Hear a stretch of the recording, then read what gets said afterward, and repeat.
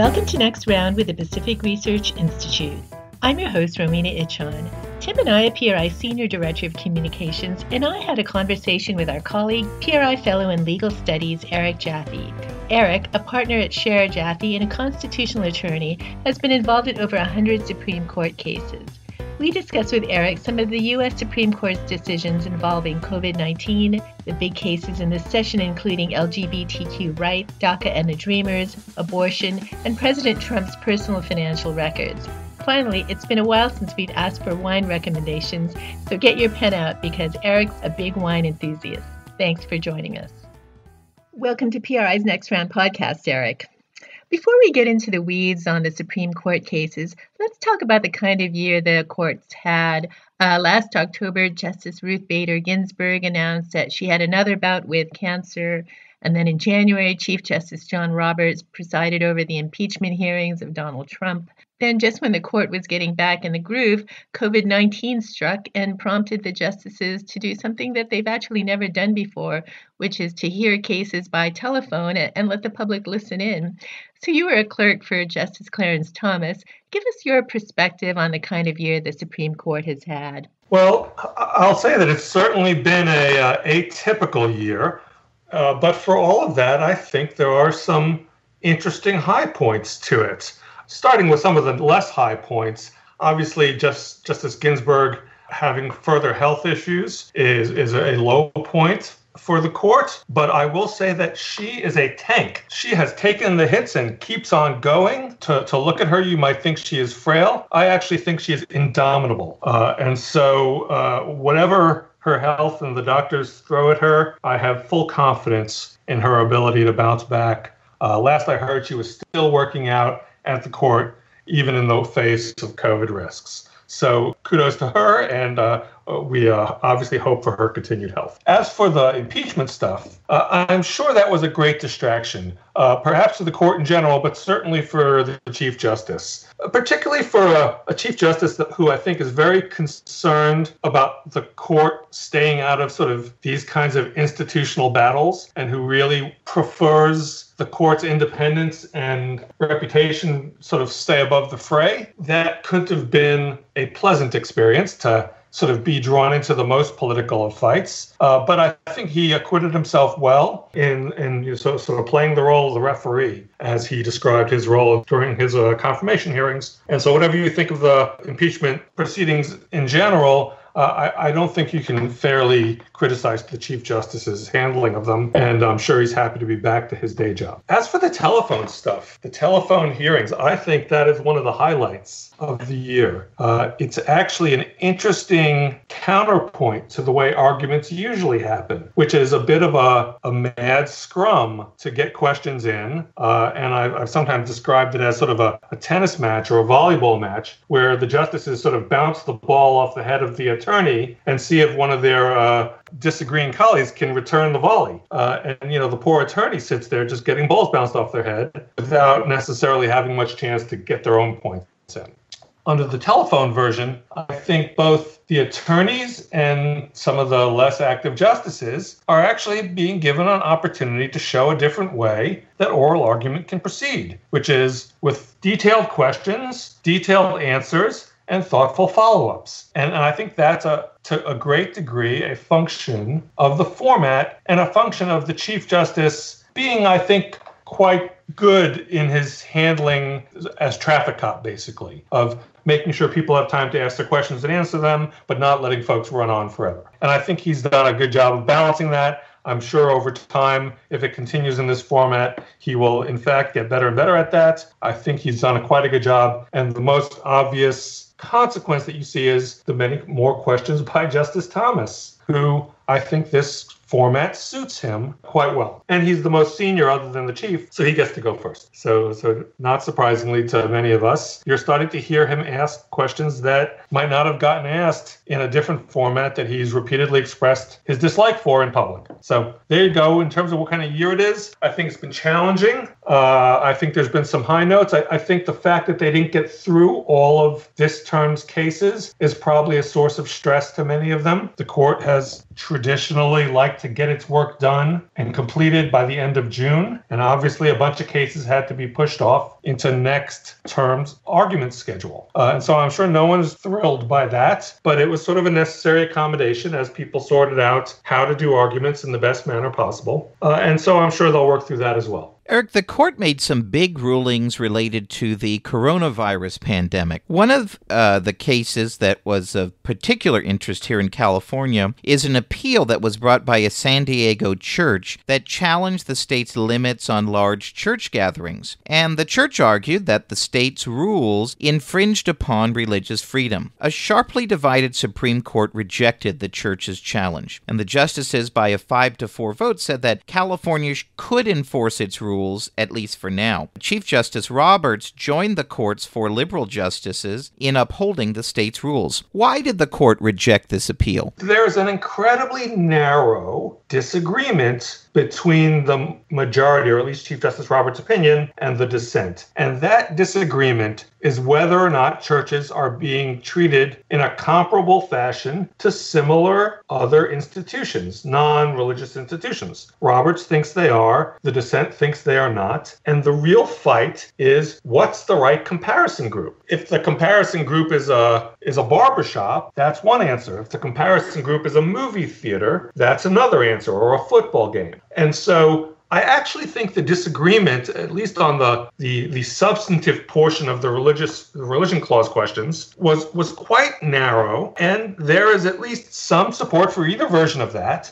Uh, I think if, uh, if one had scrutinized it very closely, churches were not being treated quite comparably to many institutions that were similar to them, particularly smaller churches, by the way. Whereas if you look at really big churches, perhaps they were being treated in a comparable fashion to large movie theaters or arena uh, venues that would have concerts, let's say. And so you could sort of go either way. Uh, what I think ultimately determined it at the end of the day was this was a request for a preliminary injunction forbidding the enforcement of a health and safety rule. And that is a really big ask. You're asking a court to step in and override public health authorities in the midst of an admitted health crisis. And a court is going to be incredibly reluctant to do that. And Chief Justice Roberts, like I mentioned before, who was concerned with the court's institutional role and not becoming embroiled in politically heated battles, uh, is going to lean more towards saying that courts should not leap in before they've engaged in the full spectrum of litigation. And this was a very preliminary proceeding. So we didn't have all the evidence, we didn't have all the arguments. You had a very rushed argument and based upon that rushed argument and that rushed record, he was asked to say definitively that they're going to win. And so, because they're so likely to win, I'm going to let them win now while we sort it out. And that's a big ask for somebody who thinks the courts should take a more narrow role. I'm very sympathetic, by the way, to the dissent. I actually think this COVID authority has been deeply abused in a lot of states and particularly in California. And I think it's important to look at what the proper constitutional standards are. And I'm not sure at the end of the day that they are as deferential as many courts and Chief Justice Roberts seem to think. But I am sympathetic to the notion that deciding these things at the preliminary injunction stage is really asking you to, to leap first and look second. Well, Erik, you know, in another coronavirus related case, the Supreme Court refused to hear a request by the Trump Justice Department to block a judge's ruling ordering federal prison officials to take steps to move about 800 inmates out of a Ohio prison through compassionate release, home confinement, parole, or, or transfer to another facility. And in this facility, nine prisoners had already died from COVID 19. I'm sure that, you know, the public is sympathetic to the plight of these prisoners, but many are, you know, scratching their heads wondering how law abiding people like themselves are forced to stay at home, even face being arrested if they don't, while prisoners all over the country are being released. So, what are your thoughts on that? So, so a couple things. So, so the, the first ruling where the Supreme Court declined to step in and stay the injunction uh, was actually more of a procedural problem than a substantive question. Uh, there had been an original original order, and then there had been an amended order, but there was only an appeal of the first one, not the second one, which added some modifications. And so I don't, I wouldn't read too much into that, particularly given that after the government turned around and, and then appealed the second order, uh, the Supreme Court, in fact, did grant the application for a stay. So they said, no, you can't suddenly force them to release or transfer everybody uh, until at least the government has had a chance to argue this in front of the Sixth Circuit Court of Appeals. And so the government then went, so the, the order was indeed stayed. Nobody got released. The government went in front of the Sixth Circuit, pointed out, by the way, that it was taking lots of steps to secure the safety of these prisoners, including transferring many of the most vulnerable to, to, to, different facilities. And then at the end of the day, won the argument that they, they were likely to succeed on the merits, that the prisoners were not likely to succeed because this was not likely to be an Eighth Amendment violation. And the Sixth Circuit's opinion on this is quite interesting, mostly pointing out that look, the government is not being insensitive to these, these serious concerns. It's taking a lot of steps. And if the answer is you don't think it's doing enough, that's not a constitutional violation. It has to be a real level of deliberate indifference, which I don't think anybody realistically could say the government demonstrated here. They might not have been doing the job you wish they were doing, but they were hardly indifferent. So at the end of the day, the answer is the government is taking a lot of steps to try to mitigate this problem and the courts backed away and did not force the government to release anybody or to move anybody against what, whatever their internal judgments would have been on how best to handle this problem. Now, I will say that I wouldn't be so quick to to analogize this to you're letting prisoners out, but you're making people stay home. Because of course, even had they let the prisoners out, they would have been confined to their homes, just like anyone else and would have had an ankle monitor on to be sure that they stayed home. And in fact, many of the things the prisoners were asking were not to be let out, but to just be transferred to safer facilities that had better means of isolating some of the ones who couldn't be well isolated in this particular facility, which had, as you mentioned, had a particularly rough track record with COVID. I, I would at least point that out that there's there's a bit of a, a miss analogy to you know citizens are being asked to stay home. Well people are being asked to stay home because when you leave you threaten the health and safety of others not just yourself. And for prisoners you're right some prisoners would have threatened the health and safety of others if they didn't stay home but of course then they would have been returned to jail. And and keep in mind that this was a low security prison. The least dangerous criminals are at this. So it's not like we're letting out murderers rapists and terrorists Let's turn to the major court decisions this June. You know, perhaps the most controversial case this year is the case on whether federal employment law that bars discrimination based on sex includes claims based on sexual orientation and also gender identity. The court's ruling could confirm that LGBTQ people are protected against employment discrimination across the country. The case is particularly significant because it comes after Justice Anthony Kennedy long a champion of LGBTQ rights, is no longer on the court, and he's been replaced by Trump nominee Brett Kavanaugh, of course. So, which way do you think this case will go? I actually think that there is a pretty respectable chance that it goes in favor of the LBG, LGBTQ litigants. Uh, and the reason I think that, I, I find this case actually quite fascinating because it shows uh, sort of a divergence of originalist or textualist analysis of, in this case, statutes. Uh, obviously, in other cases, the Constitution, but here of a statute. Uh, and the great example this is Justice Gorsuch, who looks at the text of the statute and basically says, look, it says on the basis of sex. And if these uh, litigants were doing exactly what they were doing, but were of a different sex, you'd have no problem. The only reason you have a problem is because of their sex. So if, if you know you have a, a male partner, that's great if you're a woman, but not okay if you're a man. The only difference is the gender of your other partner. Or if you know if you were dressing like a woman, didn't have the plumbing for that, then we wouldn't care.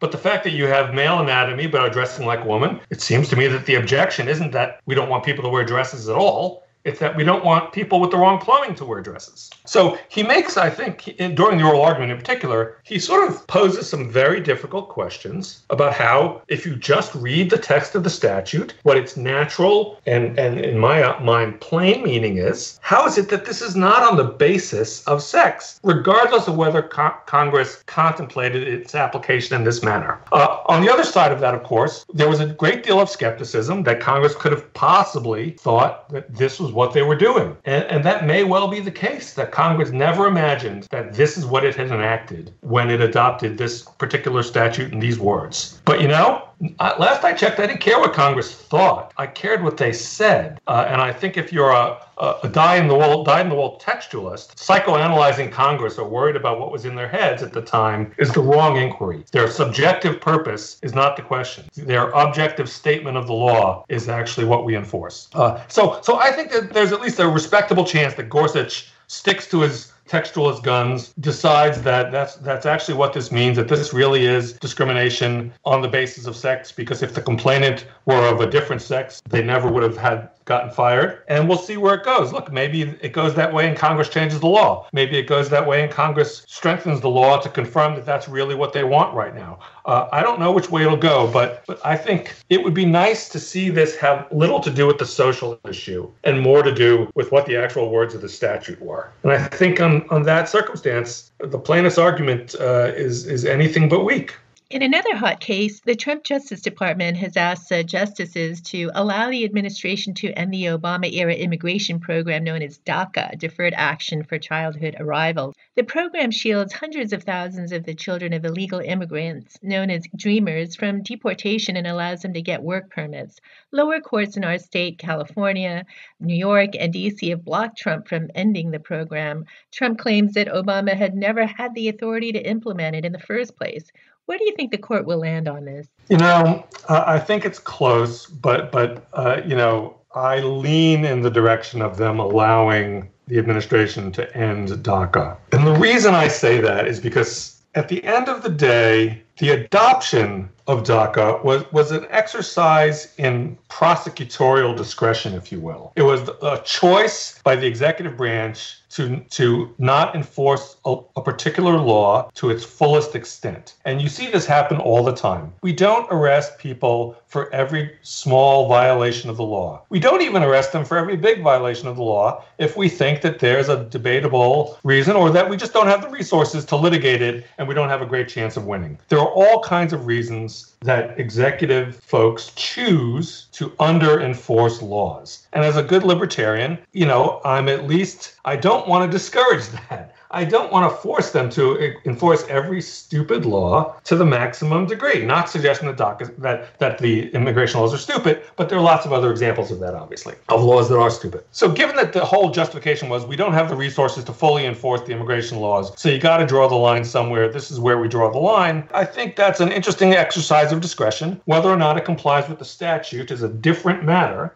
But to the extent that it was adopted as a purported exercise of discretion, I don't really see how it can't be repealed as an exercise of discretion as well. So just because yesterday I decided to only enforce, you know, 50% of the uh, petty thefts doesn't mean that tomorrow I can't decide I'm going to start enforcing more of them because, uh, you know, I think petty crime is now reducing the fabric of society or something like that. So the, the one thing I will say is that there's an interesting legal question here, which is about the reviewability of this action at all. So if this was truly a completely discretionary act, it's probably not reviewable by the courts at all. And I suspect the court will not go there. I suspect they will say it is at least reviewable for some things, like compliance with constitutional requirements and, and, and things of that ilk. But whether they think it is reviewable entirely for how the agency decides to exercise its discretion and whether the Administrative Procedure Act forces an agency to jump through 50 hoops before it can ever exercise its discretion, I am very skeptical that there are five votes for that view. Uh, look, if, if, if there was some evidence that the discretion was being exercised in a way that violated the Constitution, so it was overtly discriminatory based on race, it was overtly discriminatory based on religion, perhaps that would be an enforceable standard to, to use. But if the only standard is you didn't look at enough evidence, uh, you only gave me one sentence of explanation as to why you rejected their claims for, for, for you know,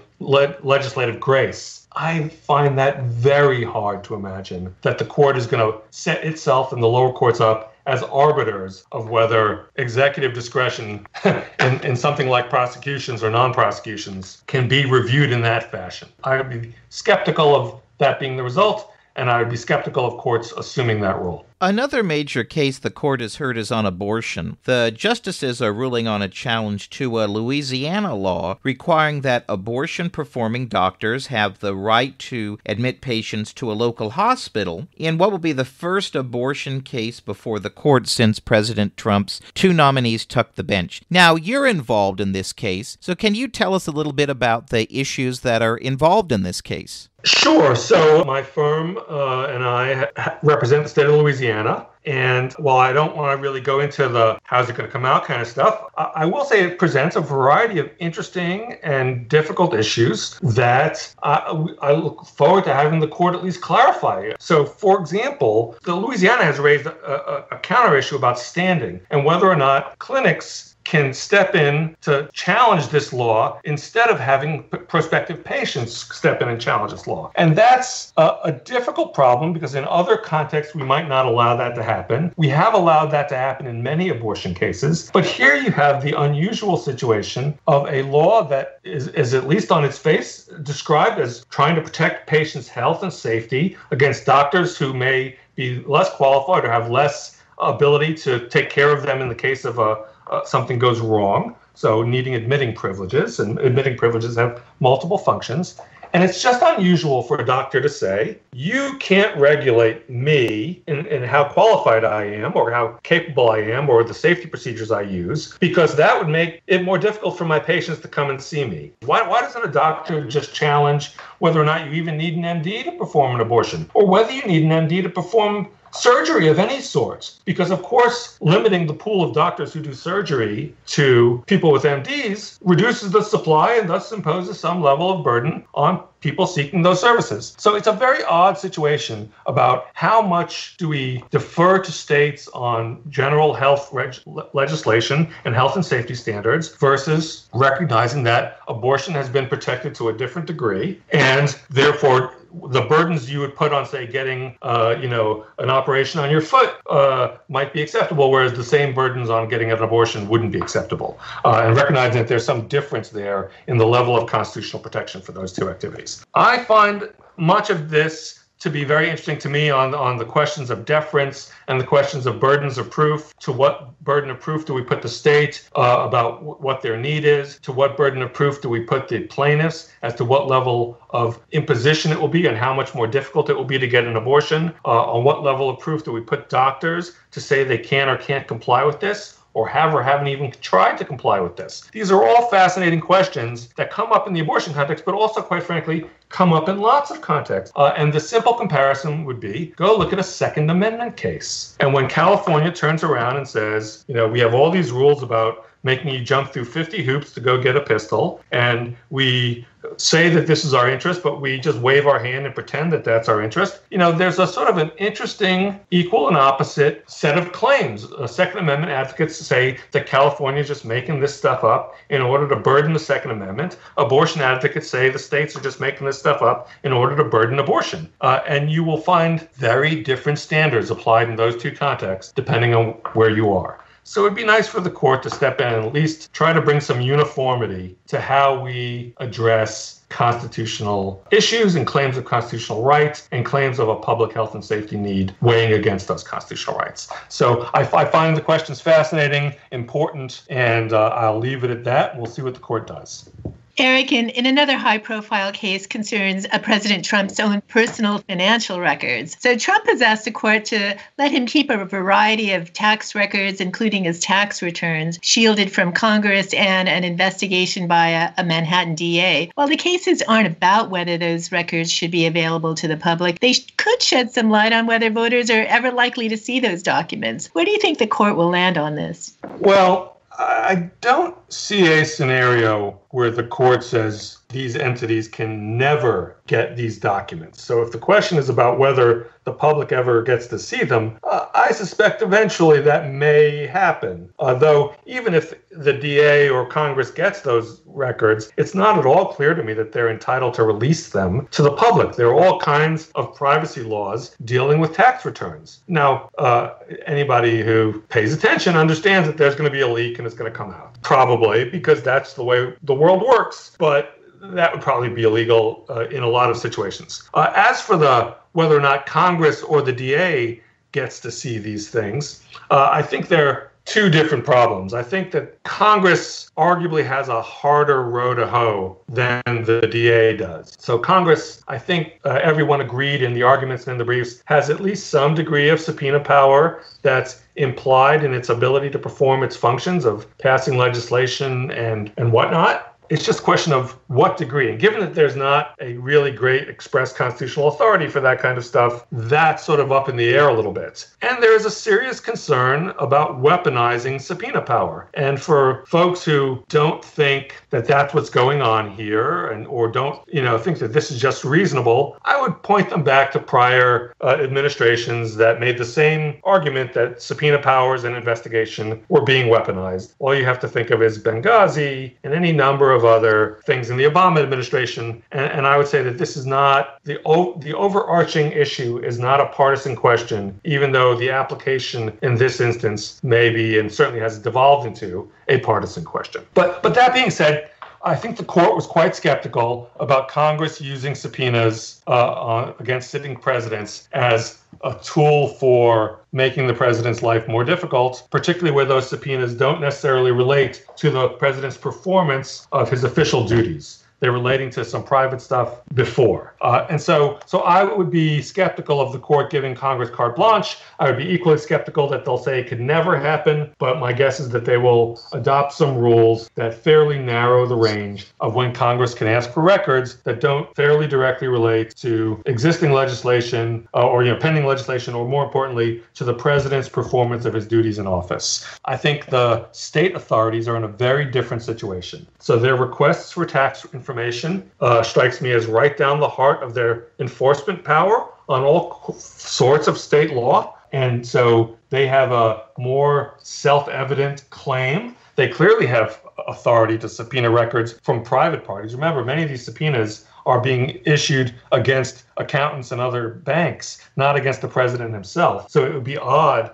that the president's immunity or temporary immunity would extend to all these private parties who whatever you think the president may or may not have done, they might not unreasonably want to investigate whether those private parties conspired to perform bad behavior. You couple that with concerns for statutes of limitations and you know perhaps deferring any such investigation for 8 years and I think the court is going to be more lenient in allowing state entities like that to get records that re- clearly relate to their law enforcement activities, uh, whether or not we think that the, they're also taking some pleasure in the fact that they're uh, doing this against someone they may not like. Absent some really serious evidence that this is a frivolous investigation with no purpose other than to harass, and it'd be hard to find such evidence. I'm guessing that the Manhattan DA and others will, will, will get a, a, li- a little more leeway and probably get a hold of these records. Erik, we've talked about the big cases here in our podcast today, but perhaps you could mention a couple of other cases that might not get the media attention they deserve, but could have widespread impact on the public. I think that there are a number of cases that uh, are certainly interesting. Whether or not they'll have widespread impact may remain to be seen.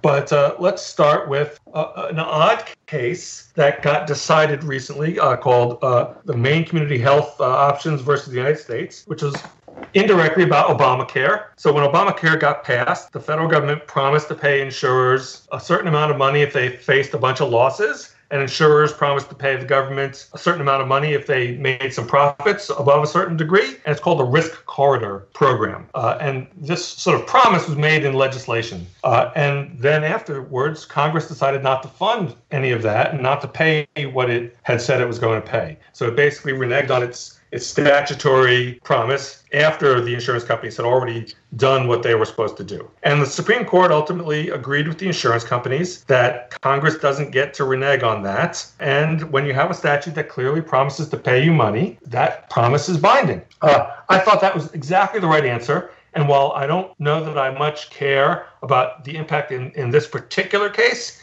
it does come up in other contexts where Congress plays a bait and switch, where they put stuff in legislation that is expressly designed to get people to do things.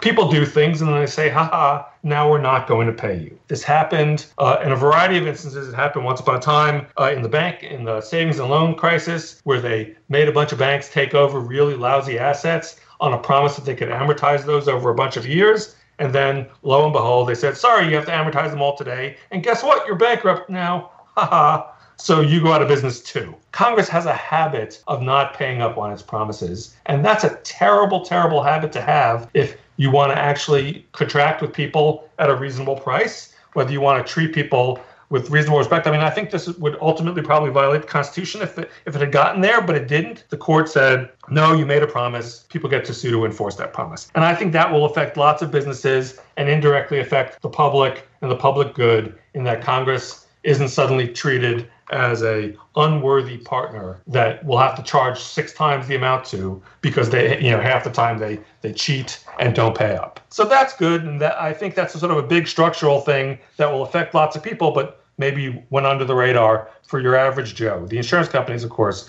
were watching this closely. Uh, another case that i think is interesting that would affect a lot of people is the court's treatment uh, of the New York State pistol and rifle uh, case. Uh, while they dismissed the case as moot because New York, of course, chickened out at the last moment, uh, shameless, shameless behavior on the part of New York. They spend years defending this law. And then the Supreme Court takes it up and they say, oh, just kidding. We don't actually believe in that law. So we're just going to change it. And by the way, you can't get attorney's fees now because we changed it. You didn't win. Utterly, utterly shameless. Uh, shame on New York in every conceivable respect. But what was interesting was not the decision to let it go. Uh, that's a sort of a somewhat technical decision about what is and isn't moot. Uh, I suspect the dissent got the better of that. What, what I found more important was the three dissenters made very clear that they are growing quite weary of lower courts treating the Second Amendment uh, as a, an unwelcome guest and not giving it the seriousness it deserves. And even Justice Kavanaugh, who ultimately voted that the case was moot, agreed on the merits. And that, to the extent that it ever pans out, and there are a lot of other cases pending that the court could take, that will affect a lot of people in a lot of cases. Because so far, uh, no one has been taking the Second Amendment seriously, or not no one, but most courts have not been taking the Second Amendment seriously in the lower courts. And so it's time for the Supreme Court to let us know whether they really meant it in Heller and McDonald or whether they were just kidding. Um, hopefully they weren't kidding. Another case of interest is a case called Espinoza versus Montana Department of Revenue, which sort of deals with whether or not a neutral law providing aid to students violates the Constitution just because it allows students, it, it, gives some aid to students who select to go to religious schools. Uh, I had thought we had resolved this long ago that neutral programs can allow religious schools and religious students to participate uh, without violating the Establishment Clause. Apparently, Montana didn't get the message. So hopefully, uh, that case comes out and reaffirms the earlier issue. And I think that will help lots of people who may send their kids to religious schools, and that would be quite interesting. Uh, lastly, I would point out a case that you guys probably know about, a couple cases you guys know about. One is called uh, the Americans for Prosperity versus Becerra. A related case, or a similar case called the Institute for Free Speech versus Becerra, both of which involve challenges to California's demand for donor identity and donor information for all kinds of nonprofit groups. Uh, these, this, this behavior on the part of the California Attorney General uh, is a meaningful threat to privacy and free speech, it seems to me. PRI, of course, participated with the Project for Privacy and Surveillance Accountability in filing amicus briefs in both of those cases, which are at the cert petition stage, suggesting that this is a serious first Amendment problem. Uh, uh, and so hopefully the court will take one or both of those cases. Right now, those the court has asked the federal government, the Solicitor General's office, to weigh in on it on what it thinks about these cases, and we're waiting for an answer to, to at least one of those. I think it's asked in the AFP case, uh, and hopefully the Solicitor General will say that the court should take the case up, that it really is a problem for government agents to start collecting donor information about people who are their arguably their political enemies. Uh, and once again, for anyone who thinks that this is just about a partisan question of we don't like California collecting information on conservative donors, which is what they're doing. Remember that there are other government entities that can collect information on liberal donors uh, who you might not trust any more than the conservatives trust the California Attorney General. Uh, one might even imagine that the federal government might be in such a, a, a position that could cause donors to, to liberal causes to be concerned at the moment if the federal government starts gathering such data, which, uh, uh, and certainly if it makes it available. Obviously, we see these kinds of fights in a lot of the privacy and surveillance uh, issues coming up today. But remember, the FBI was doing this a long time ago against its political opponents back in the civil rights days and back in the anti communism days. And there's no reason to believe that any level of government under any administration of any political stripe would overlook such a tool for beating your opponents about the head and neck if it was made available to them without some kind of restriction. Finally, Erik, let's let's talk some politics. The composition of the Supreme Court was a big selling point for Trump in the last presidential election. Do you think that the court's a more conservative lineup shifted in favor of a stricter interpretation of the Constitution? In other words, uh, did Trump deliver on his word? And do you think the Supreme Court makeup will be a, another big issue in the upcoming campaign? So I, I, think it's important to distinguish between uh, a more conservative court in the abstract versus a court that's more textualist or originalist, which is what I think we have moved in the direction of. I don't so so of the the new justices, obviously Justice Gorsuch has a, a, very strong uh, inclination towards originalism, textualism, and sort of looking at the Constitution and, and indeed statutes, as we discussed earlier, uh, in that mode of analysis, which I happen to agree with. I happen to like that mode of analysis, so I'm quite pleased with that. Uh, Justice Kavanaugh, likewise, I think, is uh, probably more committed to that mode of analysis that perhaps uh, Justice Kennedy was in his day, but perhaps not to the same degree as Justice Gorsuch, though it remains to be seen. This is all early on in their tenures, and let's wait and see where they go. I would point out that that mode of judicial interpretation, that inclination, does not necessarily lead to conservative versus liberal outcomes. It's just a way of interpreting things. And sometimes it leads to a liberal outcome, as we, we may see with Justice Gorsuch's analysis of Title VII of the anti discrimination rules. He's taking a very conservative approach to looking at the text which may lead to a very liberal outcome. Because I ultimately believe that these justices are not deciding based on policy preferences, they're de- deciding based on judicial doctrines and judicial approaches on how they think courts ought to behave. Uh, so, so has Trump succeeded in creating a more conservative court, more originalism? Though some of the liberal justices are now embracing originalism, like Elena Kagan, and I think she does a, res- a very respectable job of in that mode of analysis. Uh, and it, I think it highlights the fact that originalism doesn't necessarily lean towards one or the other answer. That even under originalist mode of analysis, there are lots of disagreements. There are lots of textual disagreements about what words mean. And so, has he succeeded? He has succeeded in giving a different flavor of judge that has a different mode of judicial analysis. What impact that has on the court in terms of sort of colloquial conservatism versus liberalism, I think we should really wait and see. We might be surprised on both sides as to where those modes of analysis lead us. As to whether it has a is an issue in upcoming campaigns, I think it will be less of an issue than it was the first time. There's a five justice majority right now, and while some conservatives occasionally squawk about Justice Roberts, he's still fairly conservative, it seems to me. And even though he occasionally switches sides, uh, I don't view that as as suggesting a necessary abandonment of his mode of analysis, just that sometimes different people can reasonably disagree where that analysis leads. Uh, I think we have so many other issues right now that will drive the election that the court will become a lesser driving force in November than, say, some of the social issues we're seeing today, some of the criticisms of the president on a personal level, uh, on a judgment level. I think those things will probably take a bigger role to the policy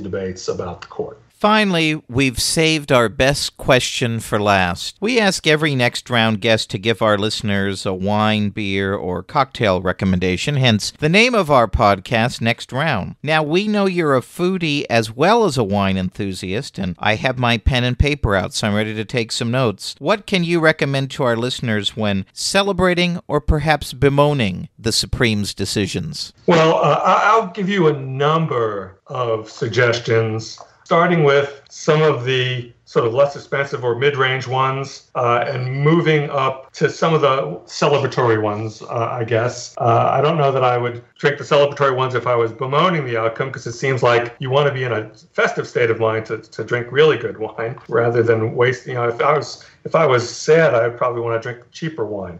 But but there you go. So on the inexpensive side, but lovely for the summer, are a couple rosés that I, I quite like. Both of them from California, actually. One is the B Cellars Rosé, which is from up in uh, Napa, and that comes out. It's it's it doesn't. I don't think it's out yet for this year, but it's it's spectacular rosé, very modestly priced. So it's really accessible wine from an extremely good producer, uh, and I would strongly strongly recommend it. I'm going to buy a ton of it as soon as they they release it. The other I would suggest is by a company called a producer called Rare Cat, which I, I every year get a case or two of, and again I really like it. That's a a, a, diff- a different, a slightly lighter um, rosé, but I think it's a, a good, again, not too expensive, good drinking for summer if you want to bemoan or celebrate events now. Not a lot to celebrate at the moment, I imagine, but if you want to be refreshed in your backyard now, perhaps do that. In terms of whites, on a sort of a somewhat higher level, if you like white wines, uh, I personally am a huge fan of certain French wines called Condrieu. And I think one of the really reliable producers is a producer called Guigal, G U I G A L, that their standard Condrieu, they're just their normal domain level Condrieu. It's about 60 bucks a bottle. It's it's really excellent. Uh, Condrieu is a, uh, a, a, an area that produces only Viognier, and it's, it's probably the best expression of Viognier, Viognier you'll ever taste. Moving back to, to California, uh, I would, for Chardonnays, which I think often get a bad rap, uh, I think one of the best Chardonnays you can get right now, uh, certainly American Chardonnays you can get, is Kistler. And Kistler makes a whole bunch of different sub vineyards, you know, different vineyards and different expressions of it, all of which I, I, think are spectacular. Again, a little bit on the higher price point side, a little bit more expensive than that Guigal, but coming out of uh, California, should be able to track some of it down and is really one of the best expressions of Chardonnay you'll see from California. Finally, moving on to whites, uh, I've been leaning towards sort of nicer, bigger, more celebratory, I'm sorry, reds uh, celebratory reds. It was my anniversary recently. We had Mother's Day recently. I'll start with a couple of the easier ones uh, and then move to the top of the ones that I've been looking at. Uh, there's a great Spanish red from Bodegas Muga, M-U-G-A, called Gran Reserva Prado Enea. Only comes out every few years. It's the best of the best of their reservas. I have a bunch of the two, 2010 in my house, and it's drinking beautifully. Uh, and you should be able to find that in a variety of places at wine stores or online. If not 2010, one of the other years, I think 11 may have been another special year that came out. A second one, again from France, I've been sort of favoring the Rhone lately. There's a Chateauneuf du Pape from uh, a producer. They routinely make gorgeous versions of this wine. Uh, 2016 was a great year. It may be a little young, but if you can buy this, it's uh, uh you know you should be able to get it for under 100 bucks a bottle at retail. Uh, and it's a great example of this wine, big, thick, you know, big, big, bold Chateauneuf du Pape. Finally, uh, the wine that I drank for my anniversary, uh, which I think is just eye-openingly wonderful, is a Northern Rhone or mid mid-level Rhone, Hermitage from a producer called Paul Jaboulet. It's their La Chapelle uh, Hermitage. Uh, again, it's their top of the line Hermitage. That one will be a little more expensive, but boy, for a big event, if you can afford it, yeah, it was really quite amazing. I was, uh, it was, it was eye-openingly good example of a Northern Rhone wine. So there you have it. I know that's probably more than you want to hear on wines, uh, and I'm hardly the expert on any of these. I'm sort of the uh, an enthusiastic amateur, but that's what I've been drinking lately, so that's what I can sort of recommend. Thanks so much, Erik. This is terrific. Great. Well, thank you for having me on. I appreciate the opportunity to chat with you guys. Special thanks to Erik Jaffe and to Tim Anaya. If you like this episode, please tell your friends and subscribe to PRI's podcast at iTunes, Google Play, Stitcher, or TuneIn. And please do us a favor and give us five stars. You can also listen to your podcast on PRI's YouTube page, youtube.com slash Pacific Research 1. That's the number one. Thanks for listening. I'm Rowena Itchon. Hope you'll come back again for next round with PRI.